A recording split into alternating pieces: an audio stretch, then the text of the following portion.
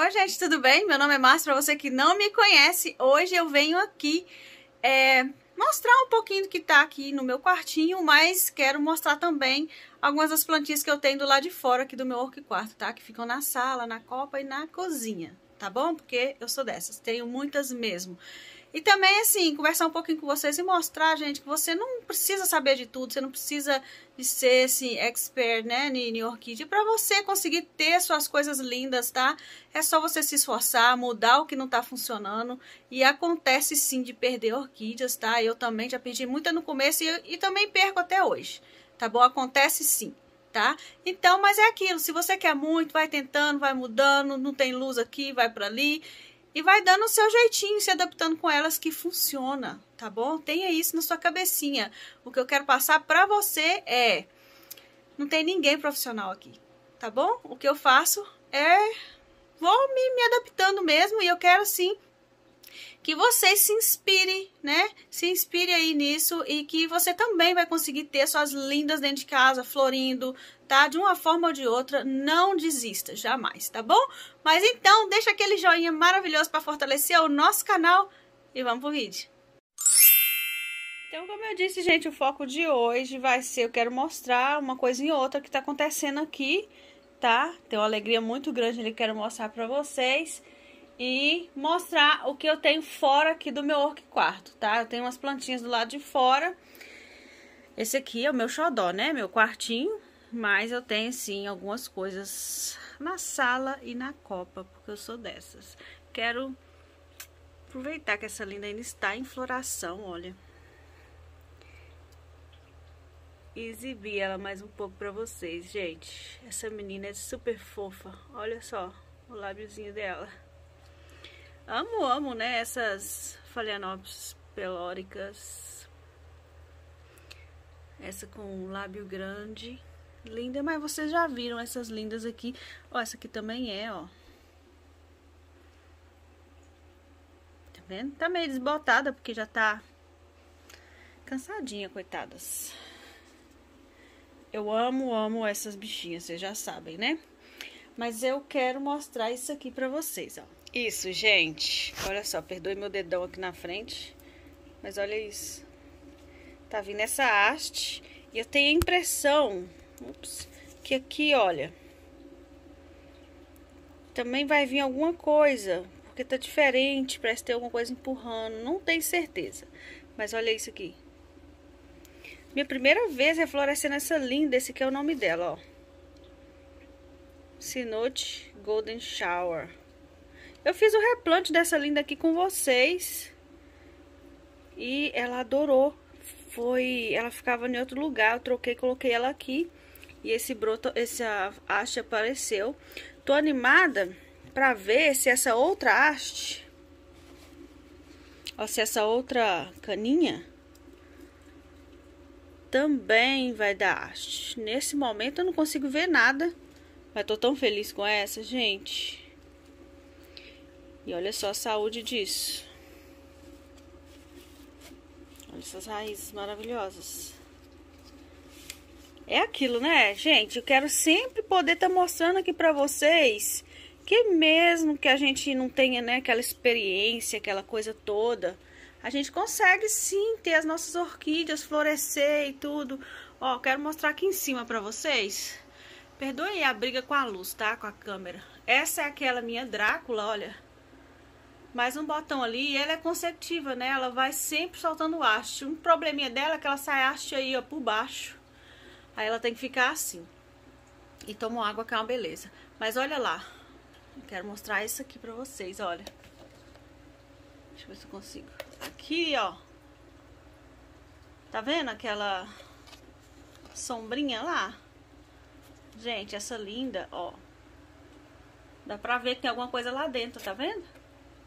Vai florir aqui também, ó, debaixo de luz artificial, tá? Então, você que não tem espaço, né, do lado de fora, não pode ter e quer ter sim as suas orquídeas dentro de casa, é um mito aquilo que a gente não consegue. Gente, a gente consegue sim, tá? Consegue sim florir aí as nossas orquídeas, né, da saúde para elas Olha a quantidade de broto, gente. Olha esse. Deixa eu ver se tem alguma coisa aqui dentro. Ainda não. Essa menina é linda. Olha essa, esse broto. Essa princesa, ela soltou botões. Esse ano passou, esse foi no final do ano.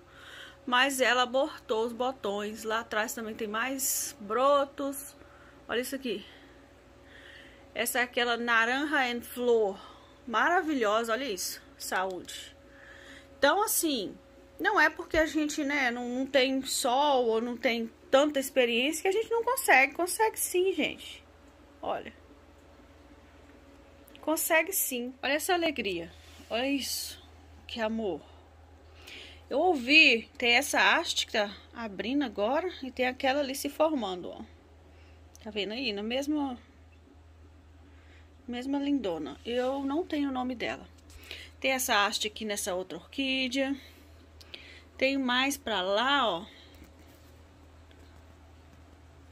Tá vendo? Pé daquela flor tem outra, da florida tem outra haste. Então, gente, eu ouvi alguém falando outro dia. Deixa eu mostrar essa encíclica pra vocês, porque ela tá sendo meu xodó aqui. Olha isso.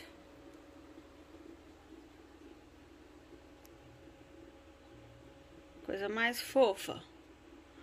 É, eu ouvi alguém falar que. Ah, que tem gente que só aparece e mostra flor, mostra isso. Nós somos profissionais, nós somos isso, somos aquilo. Sabe, gente, eu não, me deixo levar por isso. Ah, eu sei tudo, eu sei mais que você. Eu acredito que assim, com muito carinho, né? Atenção, você tentando fazendo o seu melhor, você vai conseguir sim ter suas orquídeas. E não precisa, ah, eu sou profissional. Gente, eu não sou profissional e eu não moro em lugar assim, mais apropriado para isso, mas não quer dizer, olha essa folhagem, que eu não vá ter minhas meninas, entendeu? Então eu achei super inapropriado, sabe? Quando eu escutei, olha essas raízes, gente, aqui, olha. Quando eu escutei essa pessoa falando isso, sabe? Ah, eu vim aqui, eu mostro, faço e aconteço, né? Falei, pô, que isso? Não é, não é assim, porque tem muita gente que não vai ter né, essa experiência que tá aí aprendendo um com o outro no dia a dia, assim como eu e tantas outras amigas aí. A gente vai aprendendo no dia a dia, lidando, né, se adaptando, melhorando nosso cultivo, para que a gente possa vir ter sucesso, né? Não quer dizer que eu sei, que fulano sabe, que Berta não sabe. Eu acho assim que tudo que você quer e coloca ali toda a sua vontade, né? Sempre sonhei em ter braçavolas floridas dentro de casa. Essa eu confesso que eu comprei, já estava apontando. Mas, gente, eu floresci já é, duas, né? Tem até vídeo delas aqui. Duas braçavolas aqui dentro de casa. Outras eu perdi, sabe? A floração deu, né? Arte, mas não continuou. Ó, tem até uma florzinha seca aqui. Deixa eu mostrar pra vocês. Aqui, olha. Outras deu botão, mas secou, entendeu? Ó, eu tenho as minhas lindinhas ali, ó, umas devalhas, sabe? Então, tipo assim, eu não gosto de pensar assim, ah, eu sei isso, eu, aquilo tudo. Que tem gente que fala isso, eu não, não acho legal, sabe? Porque, na verdade, é uma aprendizagem, né, isso aqui. É uma aprendizagem. No meu caso, por exemplo, eu queria, tentei, e não quer dizer também, igual eu fiz um vídeo falando sobre as luzes, né? Eu tenho um vídeo aqui instalando essas lâmpadas e fiz um vídeo falando sobre luzes. Vou deixar os dois links aqui embaixo para você dar uma checada, tá? Quem tem curiosidade. Mas, é, não precisa ser dessa também. São normais aqui pra mim, tá? Ficam debaixo, assim, de balcão, balcão e cozinha. Mas eu ainda uso, né? Aquelas lâmpadas, olha, redonda também. Tá vendo? Tem ali e tem aqui. Eram assim antes, entendeu? Fiz assim com essas de bastão para meio que padronizar um pouco, né? Mas na verdade é aquilo. Se você quer, você tenta o melhor possível. Não deu certo de um jeito, você passa para outro jeito. E vai tentando e vai tentando, você consegue sim, gente. Fiquei um pouco revoltada com isso, desculpa, tá? Tá falando sobre isso. Olha, que linda essa princesa. Gente, fiquei com muito medo. Olha, gente, como é que tá ficando vermelhinho as...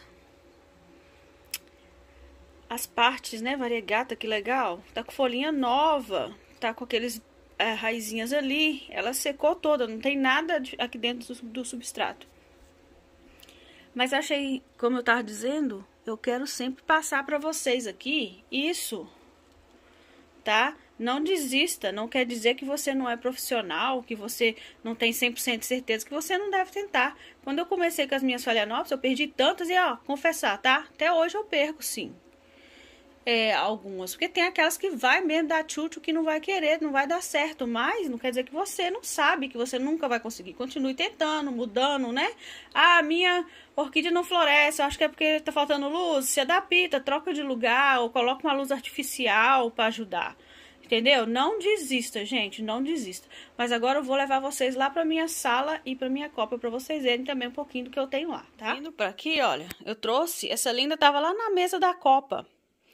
Eu trouxe ela pra aqui, que eu dei uma limpada lá, tava meio bagunçado, sabe? Tem várias orquídeazinhas, ó. Tem acho que cinco, uma, duas, três, quatro. Tem essa com lábio grande, linda de mamãe, são duas hastes. Essa fofucha aqui, olha, gente, essa menina parece parece de plástico, linda. Essa maravilhosa, ó, tá meio desabilitada, desabilitada desabilitada. É, alguma coisa assim, tá meio judiadinha. Porque ela teve uns probleminhas, né? E já floriu. Já era pra me ter cortado essa haste. Porque ela, essa, essa é essa floração aqui, ó. Tá vendo? Essa pelória aqui no... Nas pétalas. Super linda, né? Mas como ela tá com probleminhas, saiu flores com defeitos aí, né? A próxima floração provavelmente ela melhore. Essa pituquinha também, olha, gente, que coisa mais delicada. Então, estão todas nesse pote. Essa princesa aqui, ó, ganhei do meu bebê, do meu marido. Me deu aí de Dia das Mães. Linda, né? Maravilhosa. E, gente, como eu disse que eu gosto de coisa tropical, olha, eu tenho plumérias. Olha lá, eu coloco elas no inverno aqui debaixo. Agora tá na hora de pôr pra fora, mas ainda tá frio. Aí coloquei, olha, eu fiz o vídeo dessa linda. Coloca ela no vidro com substrato, ó. Deixei ela aqui. As minhas três que eu coloquei no vidro com substrato estão aqui. Ó. Essa é aquela primeira. Fiz o vídeo dela aqui também. Ela, gente, deixa eu ver se eu consigo mostrar a. Ah, ali, ó. Bem aqui, tá saindo a haste dela. E ela também, perdoem a luz aí, tá? Na claridade, né? Fica ruim. Tá ali, ó, com a haste secundária. Essa, é dessa aqui, ela é a mesma orquídea, só que essa é minha, já tenho há muito tempo. E ela eu ganhei pra salvar. Aí eu fiz o experimento.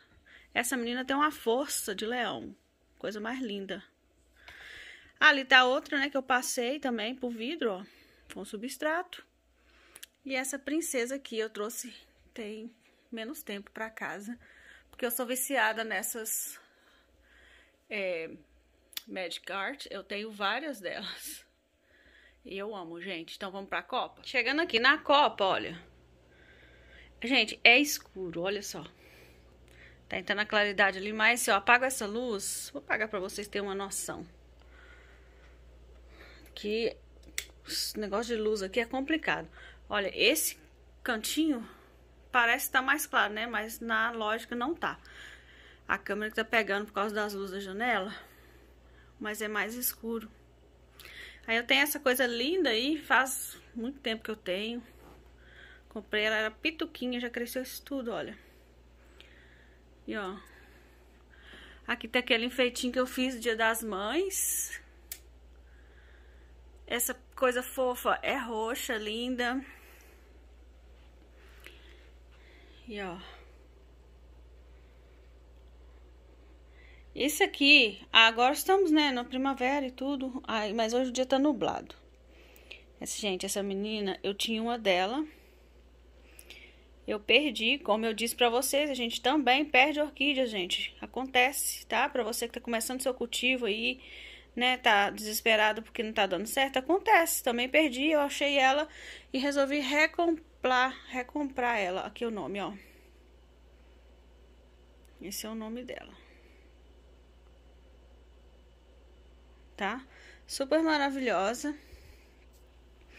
Aí eu tenho esse colar de pérolas. Tenho ali, ó, flor do rosa do deserto. Tenho esses cactuzinhos, essas coisinhas que eu coloco junto. Gente, olha essa coisa. Que amor. Lindo.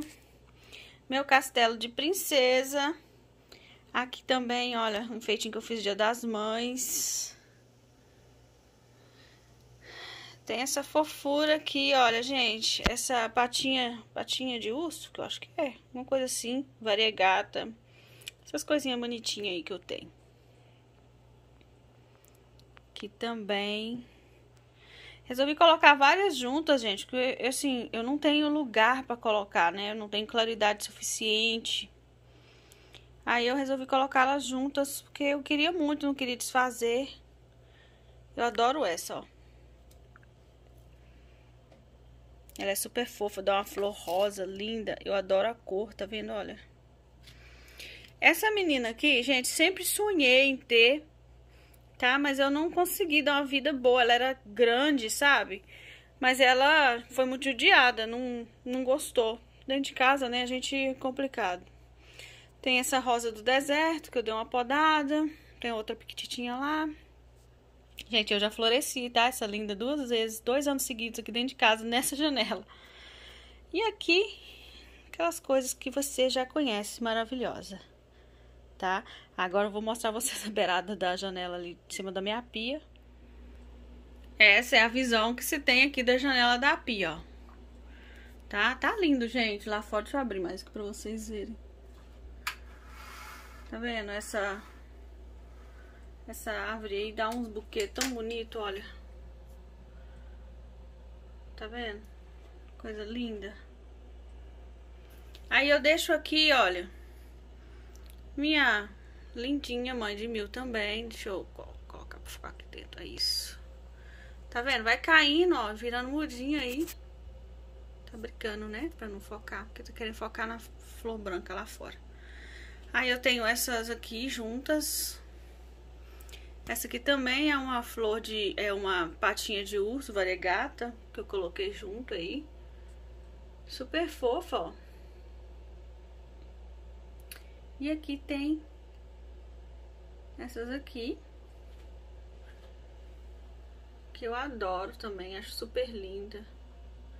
Gente, eu tenho essa aqui há um milhão de anos, não cresce, fica assim. Ainda bem, né? Porque eu não tenho tanto espaço assim. Aí essa linda aqui, olha, é uma mudinha que eu consegui salvar da mãe que tava morrendo. Há muito tempo, agora que ela tá ficando assim bonita. Mas, gente, eu amo. Adoro demais.